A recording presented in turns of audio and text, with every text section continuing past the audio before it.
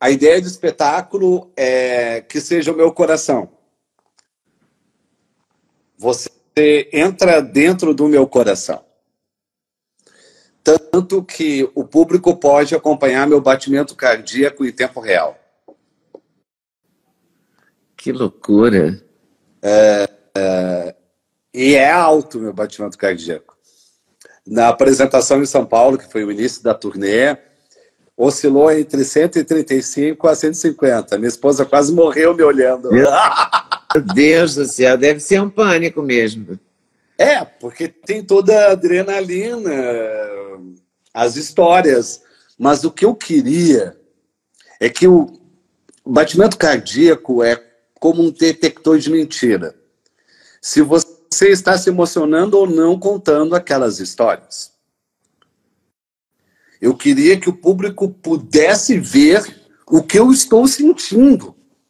Que não é fake, não é uma pose. Eu realmente estou uh, mergulhado na vertigem, na instabilidade emocional que é reviver histórias. E, e eu combato o romantismo. Acredito muito mais na gentileza. já quando você diz que está em construção, está se desconstruindo ou se reconstruindo, o que, que você acha que é importante nesse processo? Que vai somar para você? Porque você já é um, você foi um precursor nessa questão de é, usar artifícios femininos né, na sua, na sua, no seu próprio corpo. Eu me lembro de você com a unha pintada. É falando, ah, também não posso lavar louça, porque eu me lembro. Eu me lembro. É. Isso há anos atrás, isso há mais de 10 anos. O que, que, que, ainda precisa mudar em você e o que, que vai fazer diferença nessa mudança para você? Para você ficar melhor? Porque essa é, esse deve ser o objetivo, ficar melhor. Né? Exato. É, a precipitação.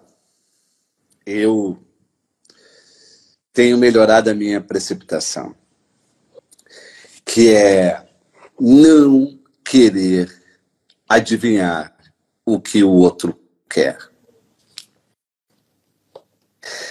Você acredita que intimidade é conhecer tudo do outro e você se acha dono do outro, dono do improvável, do desconhecido do outro.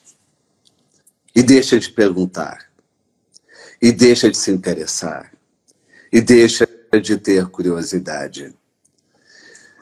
É, é um paradoxo, porque quanto mais intimidade você tem com alguém, mais você não tem o direito de falar pela pessoa. Ou seja, aceitar que a pessoa pode mudar de opinião a toda hora. Nós entendemos o amor como se fossem gostos consolidados, cristalizados. E você tem uma postura arrogante.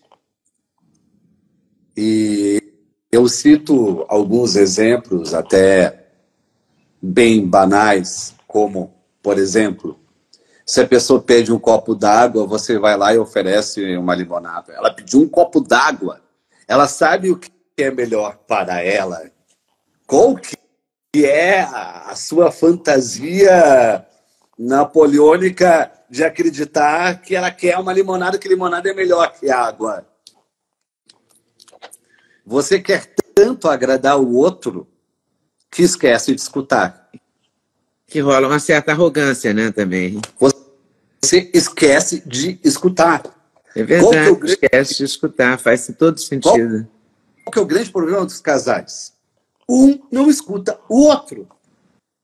Um acredita que o outro quer aquilo. E entra numa telepatia que só gera distorção. O, o, o que mais costuma acontecer é, mas você disse isso. Não, a pessoa não disse aquilo. Você pensou que ela queria aquilo. É tudo um jogo de adivinhação mórbida. Porque é, é muito mais fácil ouvir, só que isso se torna mais difícil. Que é desman desmanchar a sua idealização. Você quer que outra pessoa uh, seja a sua parte, a sua extensão. É uma simbiose. Por isso que o ciúme cresce quando você passa a fazer tudo junto com o outro. Não dá para fazer tudo junto. Pelo amor de Deus. Você tem um final de semana em que você não trabalha. O, o casal precisa almoçar junto, jantar junto, sair de noite junto, no dia seguinte almoçar junto, jantar junto, sair junto. É uma blasfêmia se alguém, dizer, alguém falar, eu vou sair com um amigo meu. Eu vou sair com uma amiga minha. Porque o casal, ele tem que fazer tudo junto no final de semana. É assustador. Você não tem mais individualidade, você não tem mais identidade, você não cultiva mais seus amigos. Seus amigos passam a ser amigos de casal. Você só sai de casalzinho.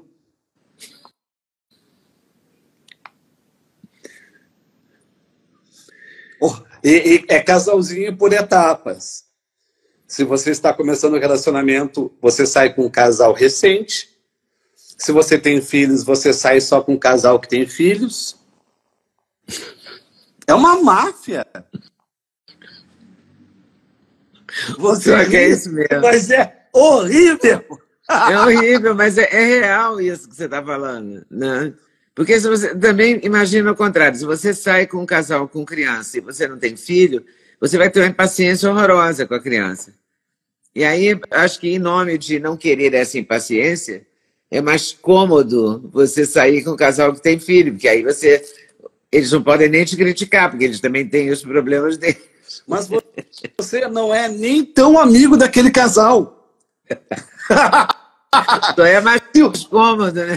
É, se o casal não tivesse filhos, você não estaria saindo com aquele casal.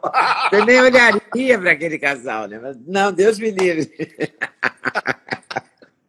Aí você, você deixa de lado os amigos solteiros. Ah, aquela expressão maldita segurar a vela. Os amigos solteiros são os mais divertidos.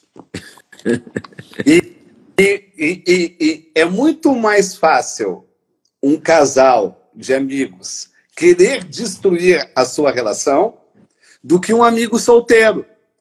Quem salva o seu casamento é um amigo solteiro. Sempre que casais se encontram, o que, que costuma acontecer, Leda? Um fala mal do outro assim que se despedem.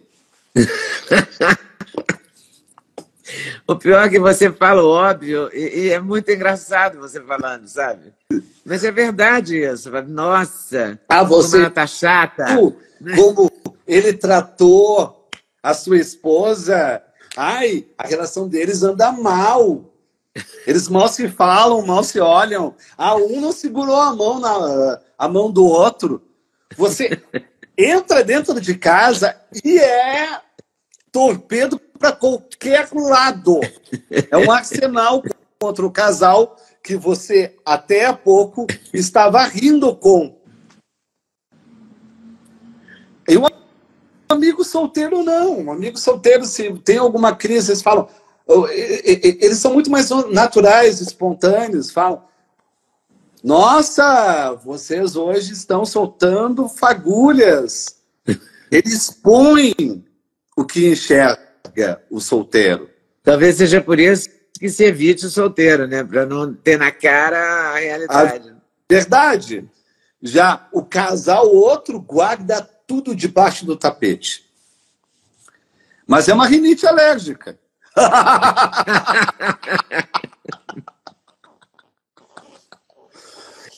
E eu acredito nas relações imperfeitas. Ou seja, que tenha humor, que tenha autocrítica, que tenha a humildade da terapia. A, a, a, Eu não gosto dos projetos messiânicos para o amor. A terapia de casal. Maravilhoso. Mas se você está no relacionamento recente, não tem sentido fazer terapia de casal. Oi, pessoal, tudo bem? Passei aqui para avisar que o meu sexteto de suplementos, os queridinhos da Leda, já tem um link especial. Então você compra direto, numa tacada só, o sexteto ah, sim, você pode acrescentar colágeno, você pode acrescentar melatonina, tudo depende da sua escolha, mas dormir bem é o melhor negócio, pode acreditar em mim. Vale conferir com certeza. Gostou do corte que você acabou de ver? Vale a pena conferir com certeza, né? Então vai conferir muitos outros cortes no canal de cortes Leda Nagli. É claro que a entrevista completa você vai conferir no YouTube Leda Nagli, canal Leda Nagli do YouTube, você não pode perder de jeito nenhum. Valeu, tô te esperando, hein? Vem nessa.